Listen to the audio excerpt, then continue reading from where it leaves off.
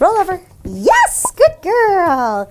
In today's video, I'm going to show you how to teach your dog to roll over. I'm also going to talk about a few common challenges that people face while teaching this trick. My name is Kayl McCann. This is Beeline. Welcome back to McCann Dogs. So we are going to get started with this. Now I have Beeline's dinner with us, which she is really excited about getting, but I'm going to work a little bit on the roll over with a little bit of use of her dinner. So I'm going to grab a couple cookies here. And I am going to start off simply by making sure she can go into the down position. So she's moving at mach speed here, so we'll try and do a little bit small, uh, slower. So I start with my hand on her nose. I have treats in my fingers here. I'm going to lure from her nose down to her toes to get her in the lying position. So that's the easy part. This next part's a little harder. What I want to do is get her lying so that she's laying on her side. So what I'm going to do is lure her nose towards her shoulder blades and hopefully encourage her to flip onto her side. And as soon as she does that, I'm going to say yes to mark her correct behavior, and then I'm going to reward her. Yes, good girl. So not all the way quite over as much as I'd like her to be, but we'll, yes, chip, yes. We'll chip away at it here. Yes, good girl. Yes. Okay, good girl. Let's try that again. So I'm turning her nose towards, yes, you are very flexible. Turning her nose towards her shoulder blades.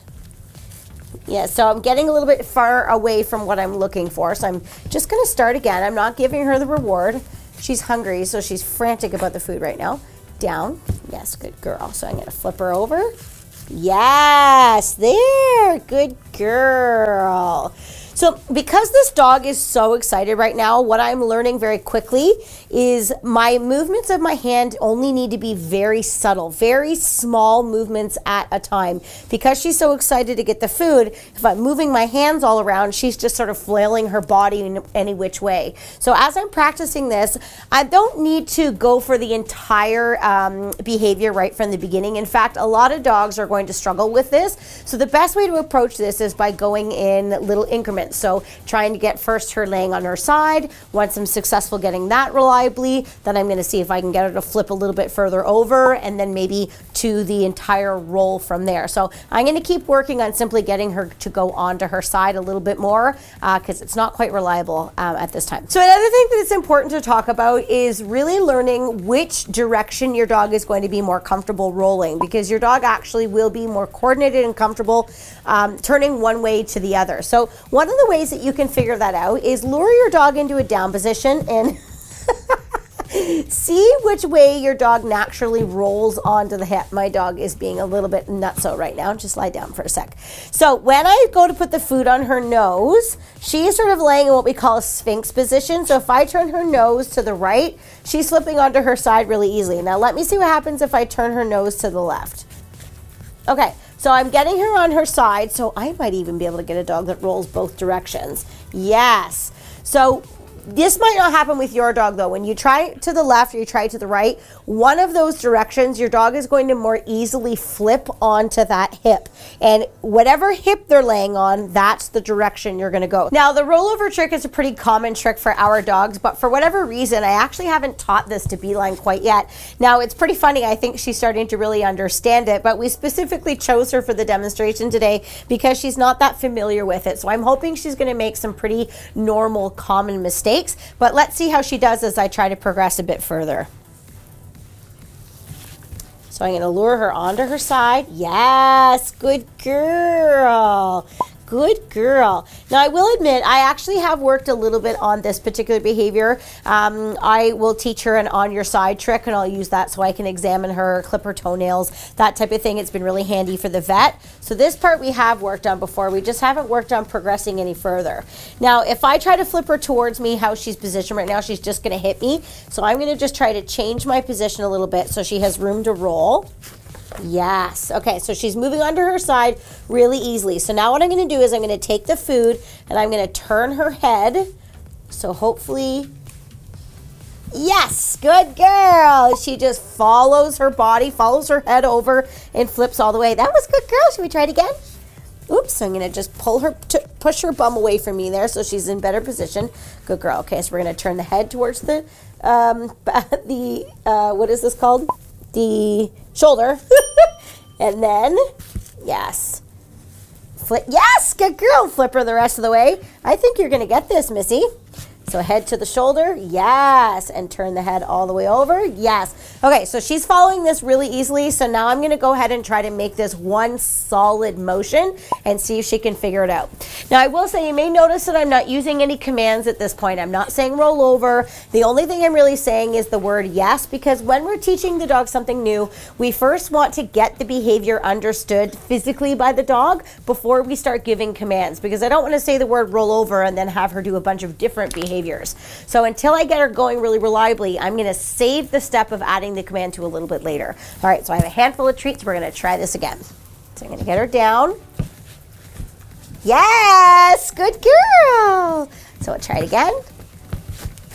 Yes, good girl. So she's going really easily now. Yes. So I think I probably can go ahead and add the word. Now, before I go on any further, I want to talk about some of the problems that may occur when you're practicing with your dog.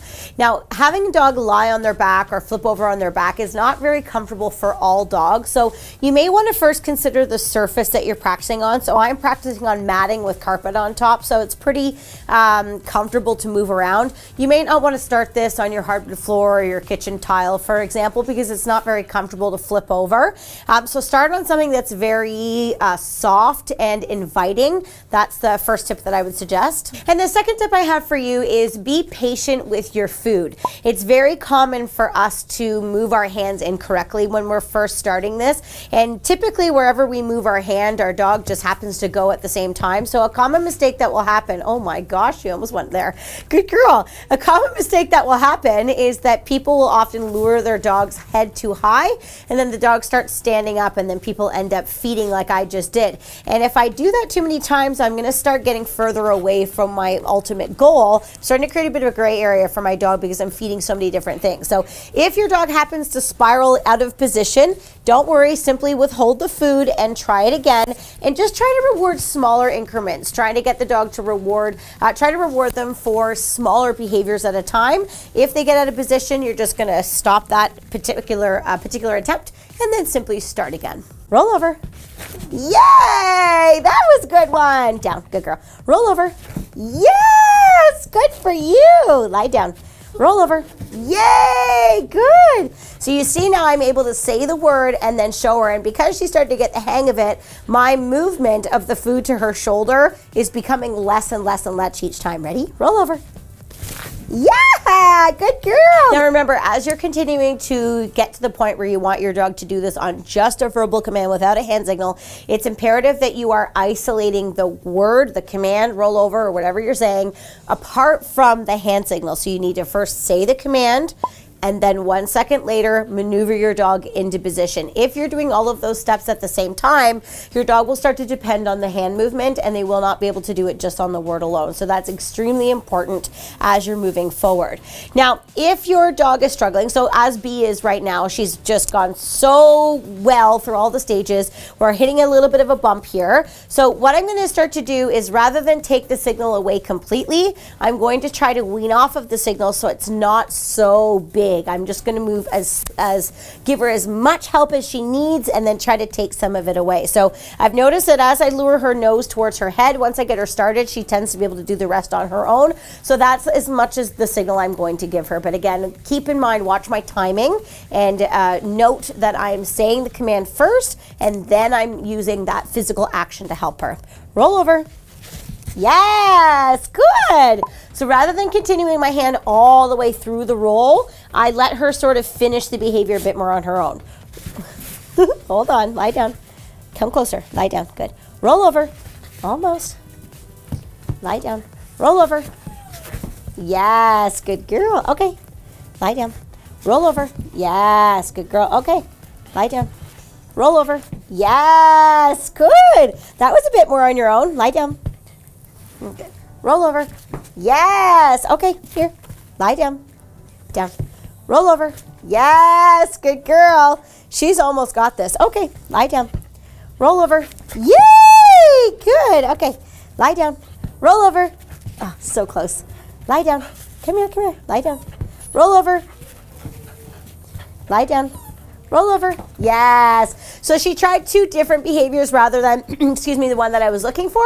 So I don't want to keep letting her get further and further away from the final goal. So if I see she's struggling, I need to get back in there with my hand signal. So obviously I have a little bit of homework to do, but hopefully you have an understanding of how to actually progress to getting to the point where your dog can do this just on the command without needing the hand signal. Now you may have noticed that as I was practicing, Beeline was offering some different tricks like spinning and backing up. Now if you'd like to teach those tricks to your dogs, click the playlist beside me. Now if this is your first time with us, make sure you hit that subscribe button. We post brand new videos every single week to help you to have a well-behaved four-legged family member. Now on that note, I'm Kayl McCann. This is my Border Collie pup Beeline. Bye for now. Happy training.